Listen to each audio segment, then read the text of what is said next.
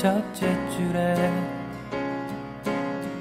겨우 160이 됐을 무렵 쓸만한 녀석들은 모두 다 이미 첫사랑 진행 중. 정말 듣고 싶었던 말이야. 물론 2년 전 일이 지만 기뻐야 하는 게 당연한데 내 기분은 그게 아냐